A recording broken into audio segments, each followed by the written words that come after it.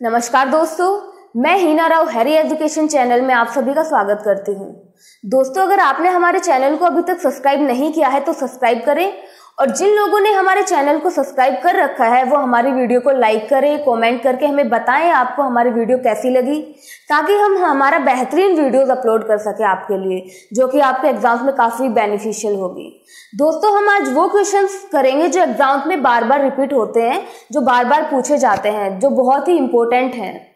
तो दोस्तों, सबसे पहला क्वेश्चन है, केसर पौधे के किस भाग से प्राप्त किया जाता है? वो है रंध्र। और दूसरा ऑप्शन आपसे ये भी पूछा आ सकता है ऑप्शन रंध्र यानी स्टिग्मा स्टिग्मा जिससे हमें केशर प्राप्त होता है। अगला क्वेश्चन है दोस्तों, अफ़गानिस्तान की राजधानी क्या है?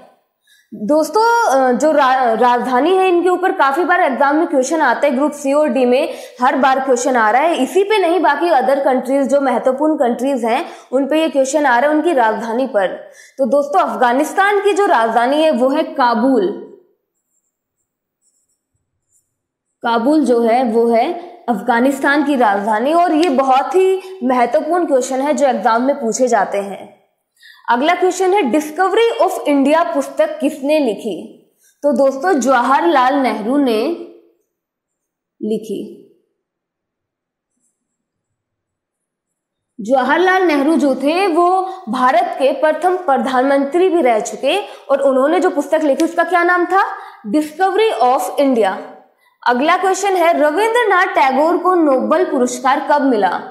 तो बात करते हैं कि शुरुआत जो नोबल पुरस्कार की है वो कब हुई? तो 1901 में जो है नोबल पुरस्कार की शुरुआत हुई और उसके ठीक 12 साल, यानी कि 1913 में रविंद्रनाथ को उनकी पुस्तक गीतांजलि पर नोबल पुरस्कार मिला। कब मिला? 1913 में।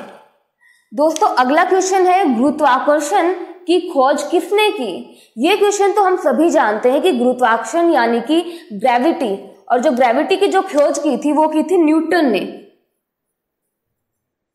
न्यूटन ने, और न्यूटन ने अपने तीन लाज भी दिए थे, जो कि काफ़ी बार उनके ऊपर एग्ज़ाम में क्वेश्चन भी आता है, न्यूटन के लाज पे। दोस्तों, वो भी आप देख लेना। आपके आगे के जो एग्ज़ाम्स हैं, उनके लिए बहुत ही सहायक होगा। काफ़ी बार इस पे भी क्वेश्चन आता है। अगला क्वेश्चन है, नेत्रदान में आँख का कौन सा भाग दान किया जाता है? दोस्तों, वो है कॉर्निया, जो कि हम दान में देते हैं नेत्र का जो भाग है। अगला क्वेश्चन है, खट्टे दूध में कौन सा अमल पाया जाता है?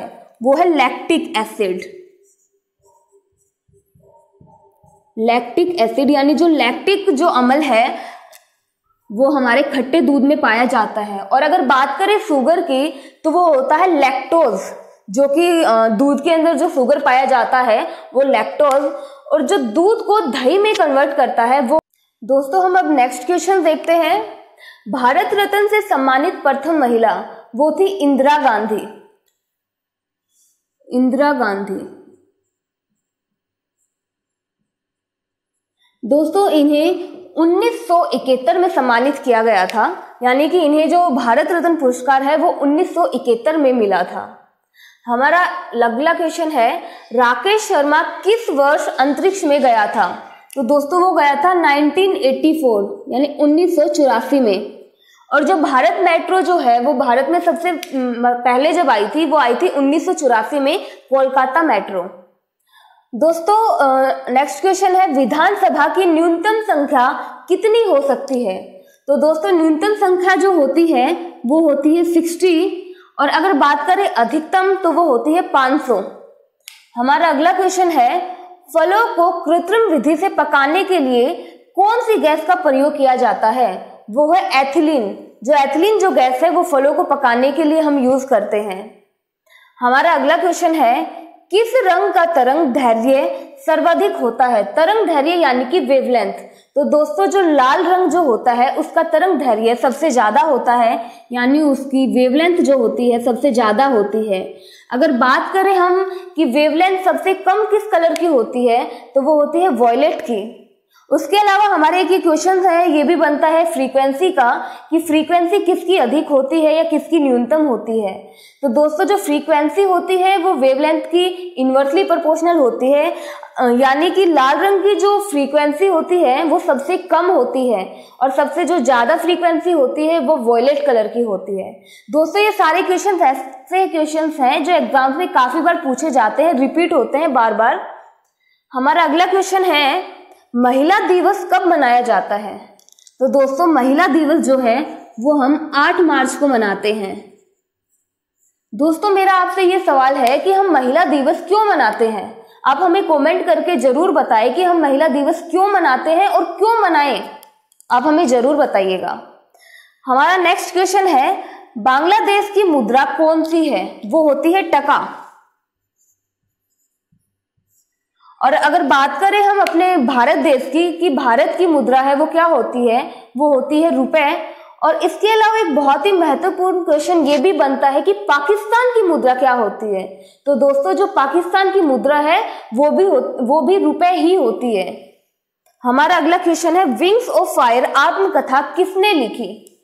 वो लिखी थी एपीजे अब्दुल कलाम एपीजे अब्दुल कलाम, जिन्हें हम मिसाइल मैन के नाम से भी जानते हैं।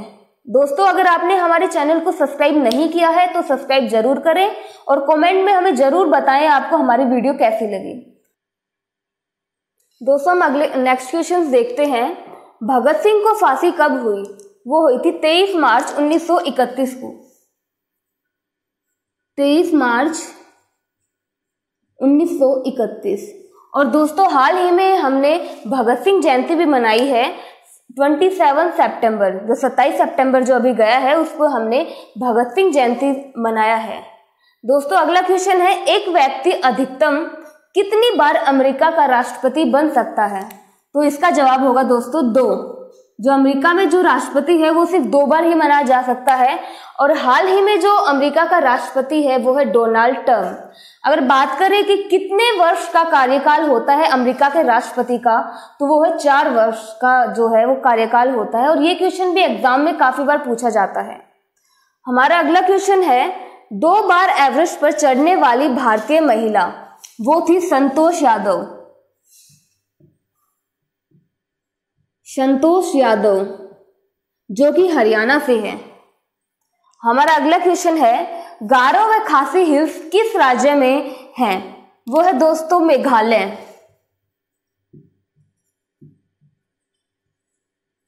दोस्तों, नाम से ही पता चला है, मेघालय, यानी मेघालय का जो शेप जो होता है, वो मेघ जैसा होता है, और इसकी जो राजधानी है, वो है शिलोंग, और मेघालय ऐसा राज्य है जहाँ पे वर्षा सर्वाधिक होती है। हमारा अगला क्वेश्चन है, अंतरिक्ष यात्री को अंतरिक्ष कैसा दिखाई देता है? वो उसे काला दिखाई देता है। कैसा दिखता है? काला। अगर दोस्तों, हमारे ऐसे ही वीडियोस आपको चाहिए हो तो आप हमें कमेंट करके ज़रूर बताएँ।